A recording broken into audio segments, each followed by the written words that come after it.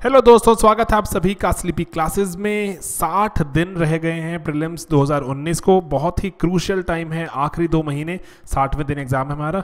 और इसीलिए कुछ मिक्स्ड क्वेश्चंस करते हैं जीएस पर।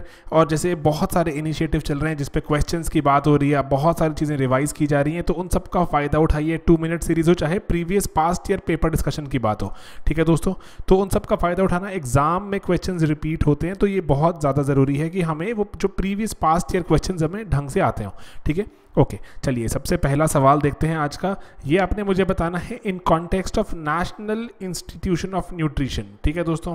तो आप इसके कॉन्टेक्स्ट में मुझे बताइए कौन सी कौन सी बातें हैं करेक्ट पहला, ये पोषण अभियान जो 2017-18 में जो जो चालू हुआ, उसका एक ही फीचर है, उसी के अंडर ही नेशनल इंस्टीट्यूशन ऑफ़ न्यूट्रिशन को चालू किया गया, लागू किया गया। दूसरा और दूसरी यहाँ पर जो ऑप्शन है हमें वो कह रही है कि ये जो हमारा नेशनल इंस्टीट्यूशन ऑफ़ न्यूट्रिशन है, ये आईसीएमआर का पार्ट है, ठीक है? उसके अंडर ये काम करता है। तो आपने मुझे बताना है कौन सी कौन सी स्टेटमेंट्स हैं यहाँ पर क्या ट्रू ठीक है? ध्यान देने वाली बात है ट्रू की बात पूछी गई है। तो दोस्तों, मुझे अपना आंसर यहाँ पर सोच समझ कर बताइए क्या है आपका राइट आंसर क्योंकि यहाँ पर जो करेक्ट आंसर है that is two only Poshan Abhiyan का, ऐसा उसके अंदर कोई फॉर्मेशन नहीं हुई थी। नेशनल इंस्टीट्यूशन ऑफ़ न्यूट्रिशन सौ साल पुराना इंस्टीट्यूशन है। 2018 में इसने 100 साल अपने पूरे किए जो स्थापित होने के। ठीक है दोस्तों? एंड ये जो पब्लिक हेल्थ न्यूट्रिशन वगैरह को लेके एक इंपॉर्टेंट इंस्टीट्यूशन हैदराबाद में स्थापित है। ये सौ साल पूरे हो गए, इसलिए इंपॉर्टेंट हो जाता है। आईसीएमआर का ही ये एक ओवरऑल एक पार्ट है।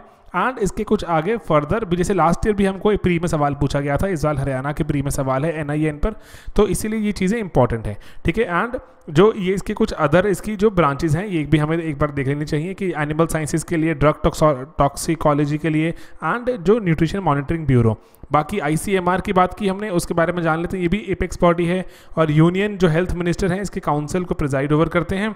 पोषण अभियान सरकार ने 2017 में शुरू किया दैट इज़ करेक्ट लेकिन 2018 में लागू हुआ था, ताकि stunting under nutrition anaemia low birth weights इन सबको जो थोड़ा कंट्रोल किया जा सके एट्सेट्रा और जो उसके बहुत सारे और कॉम्पोनेंट्स हैं, जिसमें स्टेट्स को लागू, जो स्टेट्स को भी हम इन्वॉल्व करने की ट्राई कर रहे हैं तो आप एक बार उसको देख सकते हैं कि क्या क्या जैसे आईटी वगैरह कैसे यूज़ करके स्टेट्स को इंसेंटिवाइज किया जा रहा है कि वो जो न्यूट्रिशन को बहुत ज़्यादा इंपॉर्टेंस दें।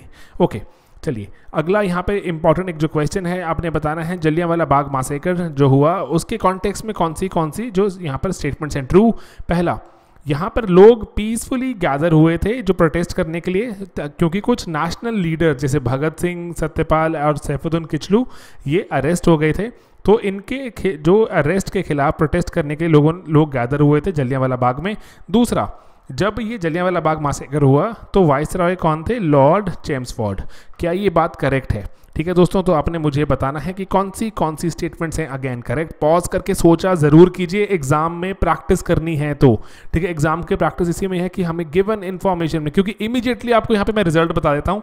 तो नॉलेज तो मिल जाएगी डेफिनेटली लेकिन थोड़ा एग्ज़ाम का टेम्परामेंट बिल्ड करना बहुत ज़रूरी है। ठीक है दोस्तों?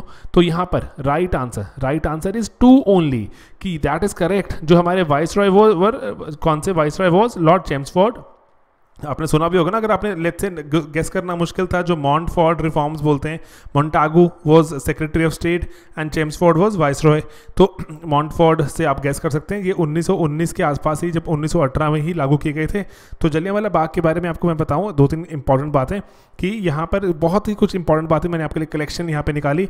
तेरह अप्रैल को हुआ बैसाखी के दिन एंड जो कमांड किसकी थी? जनरल डायर जो कर्नल डायर भी, चलो बोल देते हैं राउलेट एक्ट 1919 यहाँ लागू हुआ हुआ था।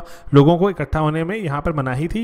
एंड जो लीडर सत्यपाल एंड सैफुद्दीन किचलू थे, भगत सिंह नहीं थे। भगत सिंह बहुत छोटे थे तब, ठीक है? एंड डायर को, जैसे आपसे यूपीसी ने पूछ चुका है डायर को यूके में बहुत लॉर्ड किया गया, बहुत ही सराहना की गई, बहुत ही अच्छा काम किया आपने। एंड देन उसके बाद लेकिन हाउस ऑफ़ कॉमन्स में पर्टिकुलरली वहाँ पे मोशन पास किए गए एंड 1920 तक उनको रिटायर करने की बात भी हुई। रविंद्रनाथ टैगोर ने इस पर काफ़ी रोष जताया था और उन्होंने नाइटहुड को भी रिफ्यूज़ कर दिया। एंड उसके बाद लेकिन यहाँ पर ऐसा इंपॉर्टेंट है कि आर्मी का रोल है, उसको थोड़ा रीवैल्यूएट किया गया मिनिमम फोर्स को लागू किया गया कि new policy of minimum force was put in practice and Hunter Commission जो लागू किया गया ताकि देखें कि जनरल डायर दोषी थे या नहीं। उन्होंने लेकिन कोई खास पीनल या डिसिप्लिनरी एक्शन नहीं रिकमेंड किया। जो जनरल जो कर्नल डायर के लिए। एंड यहाँ पर इंपॉर्टेंट एक और नाम है माइकल डॉयर ठीक है? डायर डॉयर में कंफ्यूज नहीं होना। उनको असासीनेट कर दिया गया था by whom by Udham Singh in London 1940 में ऐसा किया गया, उनको, उन्होंने असासीनेट किया।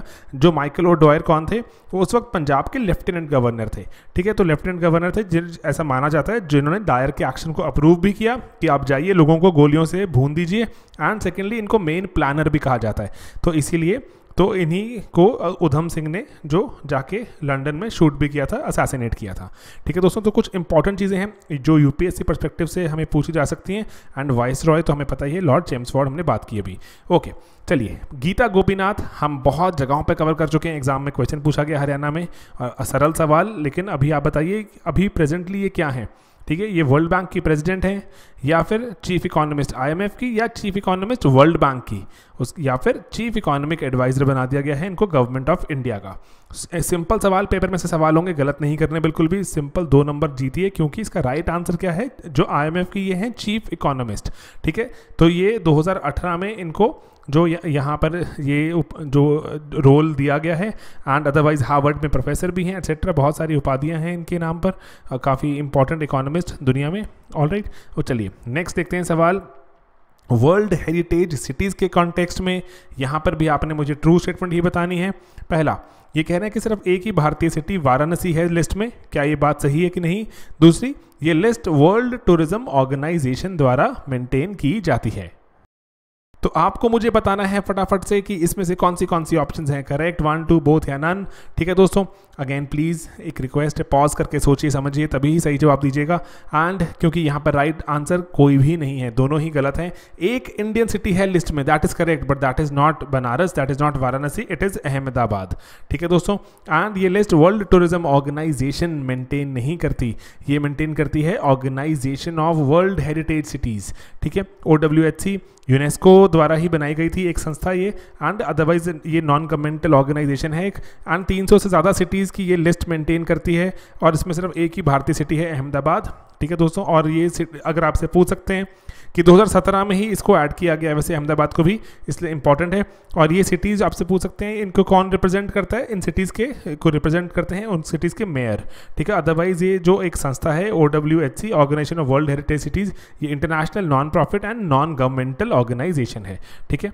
तो ये इंपॉर्टेंट चीज़ें याद रखनी है। अहमदाबाद इकलौती ऐसी सिटी हैं जो लिस्ट में फीचर करती हैं।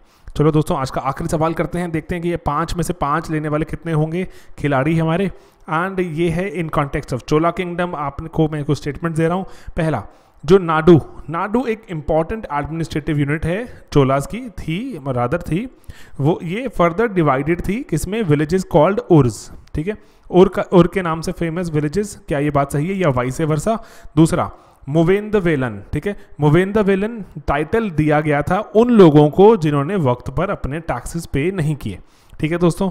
तो आप मुझे बताइए यहाँ पर कौन सी कौन सी स्टेटमेंट्स हैं? क्या ध्यान से पढ़ें तो false all right one two both या नन ऑफ़ दीज ठीक है दोस्तों? तो इन्फॉर्मेशन तो आपको मिल ही रही है, लेकिन आंसर भी सही करना बहुत ज़्यादा ज़रूरी, क्योंकि अब अल्टीमेटली हम उस स्टेज पर हैं अपनी तैयारी के, जहाँ पर आंसर सही करना ही सबसे इंपॉर्टेंट हमारे लिए हो जाएगा। तो दोस्तों, इसका राइट आंसर इसका right answer is two only कि सिर्फ़ टू गलत है दैट मीन्स फॉल्स पूछा गया फॉल्स मतलब टू गलत है। मुवेंद्र वेलन का मतलब ये नहीं था मुवेंद्र वेलन हम देखते हैं अभी क्या था, ये बात सही है कि नाडू एक इंपॉर्टेंट एडमिनिस्ट्रेटिव यूनिट थी, जिसको फर्दर उर्ज में, जो उर में हुआ था। बहुत सारे उर मिलके बन जाते थे, जो जो कि जनरली हमारी एन लिखती है, वो लिखती है कि जो सेटलमेंट ऑफ़ पेजेंट्स थी, ठीक है, जहाँ पे पेजेंट्स रहा करते थे, उसको उर कहते थे और उसके बाद जो ये बहुत सारे और इकट्ठे होते थे तो एक नाडू नामक एक बड़ी यूनिट कहलाती थी ठीक है?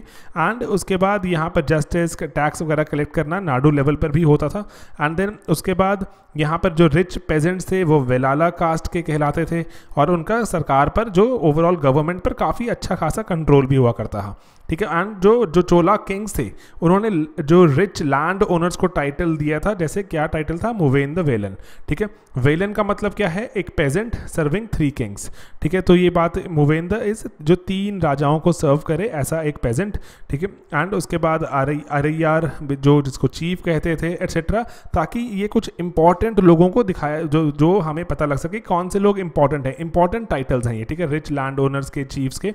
ठीक है मुवेंद्र वेलन अरिया अरैयार। ठीक है दोस्तों तो ऐसी बातें को थोड़ा याद करने की कोशिश करेंगे। ऐसी चीज़ों में अगर आप वक्त लगाएँगे तो हम उसको क्या कहते हैं? ये वक्त को स्पेंड करना नहीं कहते, उसको वक्त को इन्वेस्ट करना कहते हैं। तो अपने वक्त को सबसे इंपॉर्टेंट जो सबसे जो आपको लगता है, जो इंपॉर्टेंट चीज़ें हैं जो रिसोर्सेज हैं आपने पढ़ने हैं, उसमें सबसे पहले इन्वेस्ट कीजिए। उसके बाद ही आप कुछ और करने की जो आप प्लान बनाइए। ठीक है? Investment of time is the key now ठीक है? सिक्सटी डेज़ हैं। सिक्सटी डेज़ में जितना आप मैक्सिमम अपने टाइम को यूटिलाइज कर सकते हैं पढ़ाई और रिवाइज करने में। ठीक है? रीड कीजिए, मैं आपको सिंपली चाहता हूँ बताना। रिवाइज कीजिए एंड खुद को टेस्ट कीजिए। ठीक है? बस दैट्स इट साठ दिन में अगर आप अपनी नंबर ऑफ़ आवर जो पढ़ाई कर रहे हैं, दस से बारह घंटे कर देंगे टुवर्ड्स एंड और बढ़ा देंगे तो प्री निकालने के चांसेस बढ़ सकते हैं। ठीक है pre is a very very competitive game बहुत सारे लोग बैठते हैं। मीन्स बिल्कुल एक अलग तरह की गेम हो जाएगी ना। पहले प्री को हमें एस करना बहुत ज़रूरी। एंड लेकिन राइट स्ट्रैटेजी एंड राइट तरह की मेहनत से हम कर सकते हैं। ठीक है दोस्तों?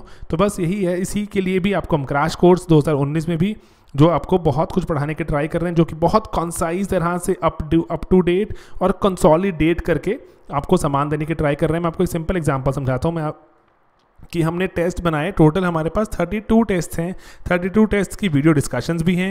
एंड अगर लेट्स से एक वीडियो डिस्कशन लेट्स से अगर तीन घंटे की है, हद से हद, जो 100 क्वेश्चन डिस्कस करने में अगर हम 200 मिनट ले रहे हैं मतलब तीन घंटे के आसपास तो 96 आवर्स 96 आवर्स में you end up learning a lot ठीक है? छियानवे घंटे अगर आप लगाते हैं, इसे कितने कितने लोगों से हम जैसे बात करते हैं, जो आप हम आसपास दोस्तों को देखते हैं तो पर्टिकुलरली ऐसे ऐसे लोग भी हैं जो 96 आवर्स दो लगातार टीवी देख लेते हैं जो नेटफ्लिक्स पर कुछ प्रोग्राम वगैरह तो 96 आवर्स तो कुछ भी नहीं है बैक टू बैक सीरीज़ खत्म करते हैं। तो मैं उनको सोच रहा था कि अगर बच्चे अगर इतना टाइम इन्वेस्ट करें, हमारे टेस्ट सीरीज़ देखने में तो कितना फ़ायदा हो सकता है। और उनके सोल्यूशन सुनने में एक्सेट्रा क्वेश्चन अटैम्प्ट करो पेपर दो, और उसको जाके जो वीडियो सोल्यूशन सुनो। स्पीड तेज़ करके सुन लोगे तो और जल्दी खत्म कर लोगे। तो एंड उसके बाद क्रैश कोर्स कितने कितने कॉन्साइज 150 आवर्स में you can end up learning a lot ठीक है दोस्तों? तो बस इसी तरह से मैं आपको चाह रहा था बताना कि बहुत ही कॉस्ट इफ़ेक्टिव तरीके तरीके से आप टेस्ट सीरीज़ जो कि वीडियो सोल्यूशन के साथ है क्रैश कोर्स सभी का फ़ायदा उठाएँ एंड पूरे पूरे वीडियोस देखें एंड उसमें से जो जो नोट्स मिल रहे हैं, जो पीडीएफ मिल रहे हैं इंपॉर्टेंट पॉइंट्स को मार्क करके रखें। प्रीमिक्स तो रोज़ करते ही हो इतना कुछ है पढ़ने के लिए, पढ़ते रहो, ठीक है? बस दैट इट पढ़ते रहोगे पेपर क्रैक होगा, बिना पढ़े कुछ नहीं मिलने वाला हमें, ठीक है दोस्तों? चलिए, मिलेंगे अपने अगले एपिसोड में। Bye bye take care and all the very best